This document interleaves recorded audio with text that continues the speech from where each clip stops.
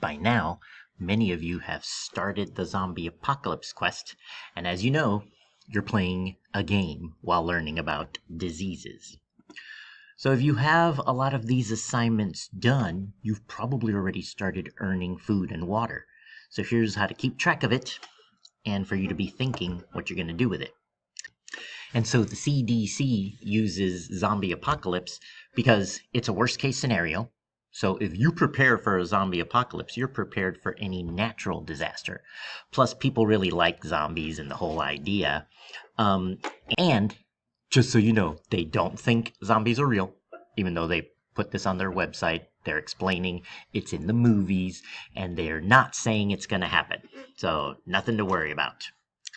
Um, so you've got the playing HZAD video there, and you've got the supply list. So when you click on the supply list, this is a view-only document because it shows you what everybody has, so don't request access to edit. I'm not going to let you edit it, but you got to find yourself so you can see how many food rations and water bottles you have, and if you've purchased or gotten any of these items.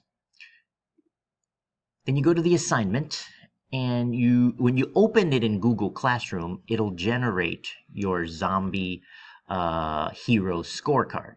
This is what the scorecard looks like, just like I show on this video. So by now I'm assuming you've already watched this video.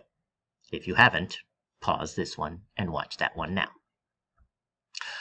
So on that other video, I show you, you know, how to personalize your scorecard. Put your name there and then go to the HZAD. And let's say I've got six food rations and three water. I can add that six food rations and three water bottles. Um, and if you are going to buy anything, um, I'm going to tell you now how much things are worth. Because here's what's going to happen. You heard the storyline on this video. So when we finish all the assignments and we're done with the zombie apocalypse quest, it's like in the story we're we're gathering our supplies and moving to our uh, location where the Starship Equinox crew can beam us aboard because we're safe and hopefully uninfected. All the supplies you collect, you can only carry two. So even if you have 35 food rations and 15 water bottles. You can only carry two unless you get and or purchase a backpack. With a backpack, you can carry up to 10 items. Now, all this extra food and water you want to use to buy maybe a first aid kit, an advanced first aid kit, a zap grenade, or a Bieber bomb.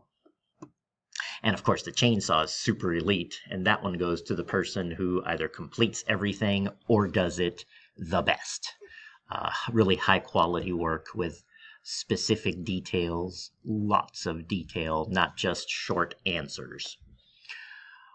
So here are some rules you want to know. Okay, so the first aid uh, you can buy with one food or one water, and it adds a plus one to any dice roll. So you would add it to your initial score because if you don't have any food or water or trade items, your initial score is going to be zero. And the way the game works, I'm going to roll a five, five six sided dice. And these are the numbers you need to win. A 28 to 30 will make you a zombie hero. You not only survived, but you probably saved your whole crew. Uh, 14 to 27, you survived. You just made it, and you're ready to be beamed aboard. Uh, 5 to 13, you know what? You either got killed outright or you're a zombie. You got infected. So, first aid helps. Advanced first aid gives you a plus 2 to any dice roll, but it's worth any combination of 3 food and or water. The zap which what the zap grenade does is when it blows up, it, it puts this aerosolized uh, uh, pathogen into the air that doesn't affect us, but it affects the zombies. It starts to melt their flesh, so their arms and legs become useless. So they're really easy to get by because they can't move. And what that one does in the game is it lets you re roll any one die. So if I roll five die, your lowest roll, you can re-roll that one if you have a zap grenade. Now the Bieber Bomb, kind of funny. Uh, when you throw that at a zombie horde, it will cause them to kind of moan Bieber, Justin Bieber songs and ignore you because they're too busy remembering that they really like Justin Bieber. Um, and what that one does is it lets you re-roll your two lowest dice. So you can re-roll two dice. That one goes on sale for four, any combination of four food or water. Now I mentioned the chainsaw is an elite item. You either earn it, uh, but what chainsaw does, if you get a chainsaw, you can re-roll any three dice. That's powerful. Um, and and if nobody earns it, I'll put it on sale, maybe for combination of six uh, food or water. And the backpack, so important because it lets you carry first aid kits and zap grenades and Bieber bombs, because that's what's going to go to get you extra points or let you re-roll dice. Um, and that one, if nobody earns it, then I might put it on sale for eight food or waters or any combo. Uh, but that's a maybe because chainsaw and backpack are elite items and you have to win them.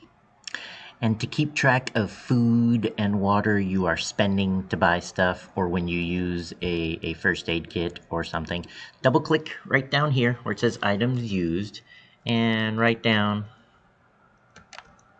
five, oops, five food and 10 water.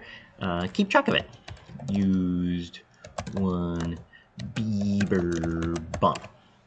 And that's how you keep track of that stuff. So you can type anywhere on here. Type on there, anywhere. So you might want to write this down or keep track of it because that's how you get a better chance of winning the game is do not just do all the assignments in here, but do them so well that you get extra items. And and more assignments are coming up, so when you finish these, you'll get the other ones. All right, if you have any questions, message me right here on the messaging center. Otherwise, have fun doing the work.